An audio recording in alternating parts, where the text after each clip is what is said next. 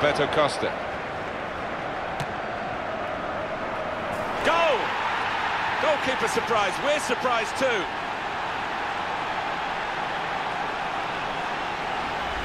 And he's left the keeper looking silly there, beating him from so far out with a proper drive. And that's a goal well worth analysing again.